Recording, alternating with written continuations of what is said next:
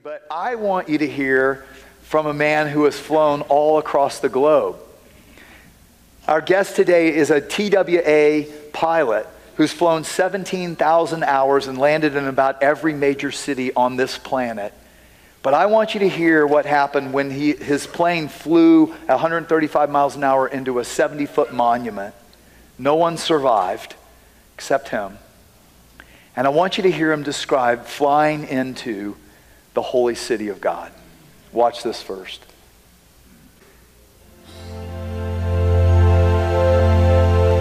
For 40 years, he has been a commercial pilot. Uh, flew for many years for a major uh, commercial airline. He's flown everything from 747s to Cessnas, everything in between. At age 19, he survived a plane crash that uh, killed the other two men in the cockpit but you hit right near the top and you then you free fell 75 feet. You hit it at 135 miles an hour. Now there's a plane down at the bottom. And the fact that you are standing, sitting across from me right now is, is amazement. They classified it as non-survivable. There was some bystanders that came by and saw all three pilots laying there motionless, and one was clearly dead. The other two appeared dead, and there was fuel and toxic fumes everywhere. You were severely injured. They, they, they rushed you to the hospital. Um, they didn't figure you were going to live. I get into the emergency room. I'm literally away from my body, Jim, if that makes any sense. Yeah. I'm, but I'm obviously not dead because I've never felt more alive. It's uh, impossible to prove, but one thing I can say is I've never been the same. My life has always beat on a different drum, and it's because of this experience that we're talking about. Help me welcome Captain Dale Black.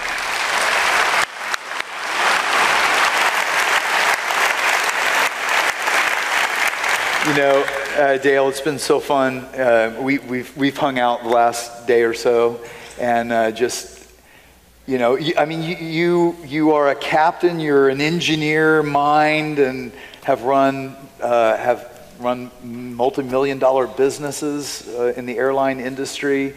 Um, and yet this experience uh, has defined your life, hasn't it? That's an understatement, but yes, it is true.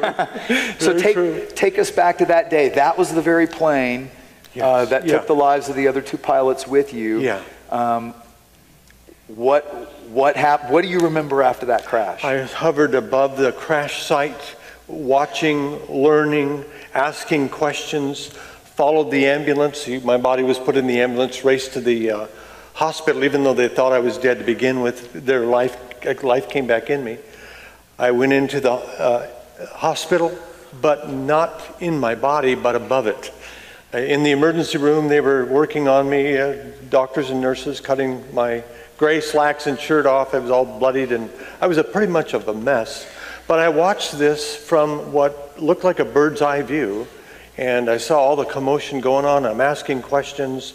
Uh, I had this life review of one moment in my life, not all my life, just one moment of my life, and it was when I was in the fifth grade where I had uh, prayed to receive Jesus into my heart as a young 11 and 12 year old kid. And uh, I was full of zeal for God at that time, wanted to live for Him with my life, and I was genuine and sincere. But when this flashback took place in the emergency room, when I was in this accident, I realized that I was no longer that young kid who loved God. I was a kid who had kind of lost my way and uh, loved my life and loved my goals and my dreams because it was all about me. It was all about what I wanted, not what God wanted. And I was sad about what had become of me. I mean, I still knew God. I still knew there was a God, and I did know that Jesus was his Savior, but I had lost my way along the path of living for myself. And uh, but the grief and all suddenly uh, departed, and I moved out of the hospital into a deep outer space. Uh, long story there, it's in the book, of course, but I saw this city of gold. Uh, in quickly, uh, this golden, brilliant, it, it was white light in the center, but it moved out and it was a a ball of heavy, thick gold light. And all the colors in the rainbow were in the white, but what I saw was the white and the gold. And as I got closer and closer, uh, Pastor John, I, I knew that this was the city, a holy city. I knew I was in heaven. You're, I- you're looking, you're coming like flying into a city. Yeah, yeah, flying into a city, uh, approaching uh, and decelerating and descending. Why God would do Only that? for God would do that for a pilot, right? Does that mean I'm going to be kicking a soccer ball through the gate? it, it, it means that we're going to have to go through flying lessons here pretty oh. soon. yeah, I'll help. No, but that's that's just so Yeah. fascinating. And and you, so you're, it, it did it feel like flying? I mean, Uh, No, there was no sensations of G forces or, or uh, uh, physical distortion of the eyes squinting, none of that. There was no discomfort in, in any way, but, but travel was extremely fast, and then it began to slow down as I got near what I called the city of God. I, I knew it was the city of God, and I knew God reigned here, but He was in the light. And it was on the other side, there was a, a wall around the city. how big was the city? Uh, the city was huge, way larger than anything like Paris or London or Beijing or anything, Mexico City, uh, way bigger than that.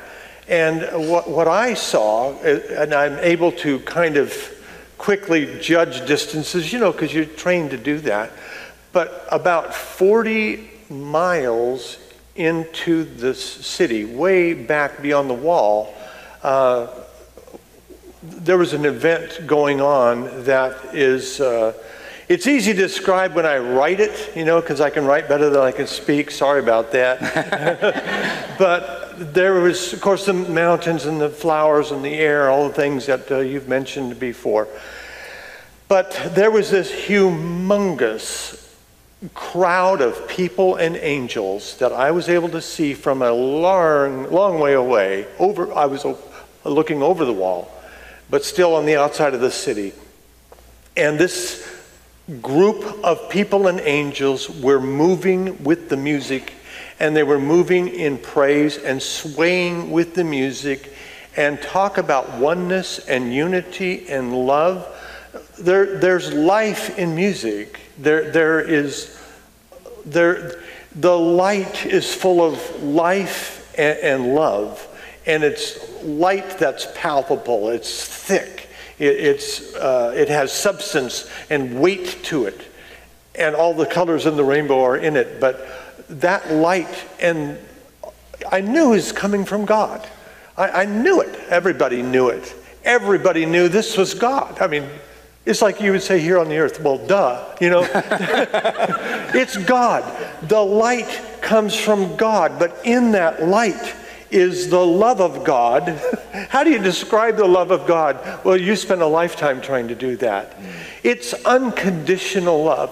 It's not based on who you are, what skills or talents you have, how much money or success you have. It's based on just the fact that you and I are the creation of God and He loves us. He loved me, and I could hardly. I told myself I wouldn't cry this time. You know what?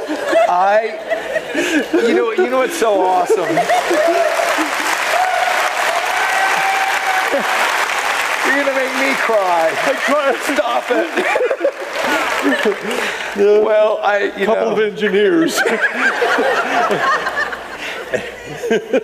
but couple of know, engineers every time Oh we talk about this, it comes from so deep within you, doesn't it? It does because it's the Spirit of God inside the Spirit of His children. And I'm just one, but it's God who's alive, who has created us in His image. And when we get out of the way and we let the Spirit of God in us, then we can reflect His light and His love and His life in this world. And that's how we can conquer disease and that's how we can conquer darkness in this world because it's the light of God in us, it's the love of God in us. And it's that life of God, and it all comes from Him, like you were preaching so well earlier. All right, let's mop up.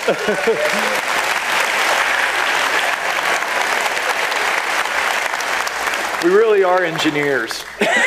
Yeah, Yeah, as funny as that Okay, is. so so I want you to describe, since we're talking about the beauty, the beauty of the surrounding landscape around this city and in the city and The funniest thing is you're asking me who, you know, I grew up with machines and I, I enjoy uh, machinery and, and then there's nothing like that in heaven, of course. There's, no, there's nothing mechanical there that I was aware of or never saw.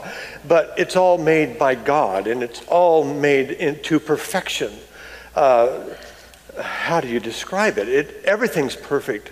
I remember the first thing I noticed uh, coming into the city was, if I may, just the grass. The, the grass was so incredible. Uh, I mean, it, it just, it was an aha moment, we would say. I just took my breath away because I, I never seen grass that was wild and perfectly manicured, yet mankind, no human being, no angel had had to touch it.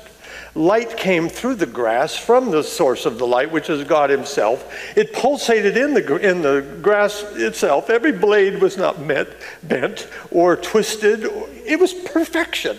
It looked more like velvet. And that's just the grass. But you know, you know what's so so many people talk about the same the grass and they can't stop describing it. Yeah. And it's like, wow. I mean, You know, I was seared by this experience a few years after the crash. I had to find some kind of job to pay for my flight training lessons, and it just so happened God had me become a golf course greens consultant. so for a year just to and rub half, it in, like this is not even close. I would just rub that grass all day. Yeah, it was weird, but true story. A year and a half of my life was uh, was spent with grass on golf courses. That's just one story. So you told me as you were flying in, back behind the city was a mountain range. Yeah, beautiful mountains, very much like these that you just showed, uh, but uh, not mountains you would want to conquer in any way, but mountains you would just revere. What do you mean? Because of the majesticness that God created. You just look at the mountains and just go, ah, wow, oh my gosh. But maybe unlike you, because you might be there when you're there, you might look at the mountains and take more time to do so. But I was more interested in what was happening with the people, the, the God's creation. And you came down then onto the path and there were people there. Yeah. Talk about yeah. that. There's a path, there was a path that I was moving uh, on, and uh, there's people to the left that were just congregating. They were just gathering. In fact, it looked like a few of them were just getting in place just as I arrived. And it made me think, rightfully so, I found out, that they were getting there to welcome me, to be there just when I needed them to be there. And I looked at these uh, wonderful people that were brilliantly lit with their uh, bright eyes and great smiles, with genuine hearts. By the way, all of the light is still coming from God through the wall, through the people, through me. And these people were, at this point, I saw family later, but at this point, it was important, I think, that God had me welcomed by the most wonderful, loving, kindest people ever. And yet, none were, were what we would call blood family. And when I discussed this quickly through my heart to my guides, the information came to me very quickly from heart to head that this was my real family. This was my spiritual family. These are my brothers. These are my sisters. And everybody was about the same age. Nobody was old or decrepit. There was no, you know, nothing wrong with anybody. No, no scars. So hide mine here. And, everybody looked about your age, if I may say. I 30. joke, I joke to them. Uh, We want earlier. 30. But yeah, they looked 29 around is what I'm going for. yeah, I'll go with that. But yeah, they looked around at 30-ish, eh, you know, in that uh, era. And it was clear that the most important family is my spiritual brothers and sisters, and there's millions, millions, hundreds of millions. If you don't have family, you will love heaven because you have millions waiting for you. And others have family in heaven already. And the great news about that is we'll be able to. Uh, you know, connect again and have this wonderful fellowship with our family the, from the blood. But the blood family on earth is not like it is in heaven. We're all blood family. It's the blood of Jesus. We're all bonded together, and it's beyond words. it's wonderful beyond words. Well, and, and we had a chance to sit down yesterday, and yeah. Dale has so much more to, to tell. And in the, in the weeks to come, you're going to hear because he went through that gate and met some blood relatives you did, had never met before. Yeah and then saw the one who clearly took your breath away. And, and so we're going we're gonna hear more, so stick with us, come back. Um, but let's thank Captain Dale Black.